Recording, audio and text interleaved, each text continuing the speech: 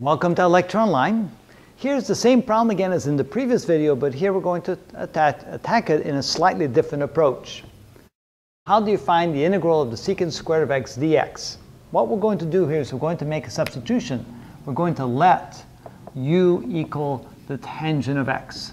If we do that, then du dx, the derivative of that with respect to x is equal to, well, the tangent of x, of course, is the sine of x divided by the cosine of x. So here, when we take the derivative, that would be equal to the denominator, cosine of x, times the derivative of the numerator, which is the cosine of x, minus the numerator, which is the sine of x, times the derivative of the denominator, which is the minus sine of x, all divided by the denominator squared. That's the cosine square of x.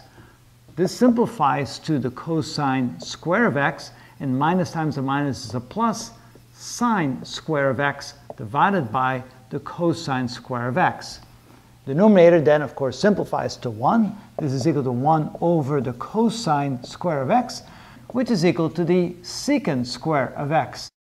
du dx is equal to the secant square of x, or du is equal to the secant square of x times du.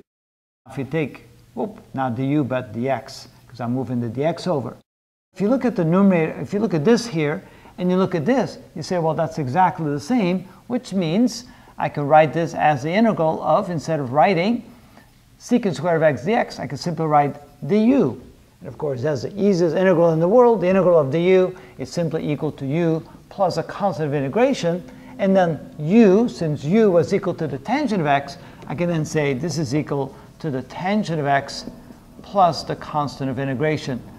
The integral of the secant square of x dx is equal to the tangent of x plus the constant of integration.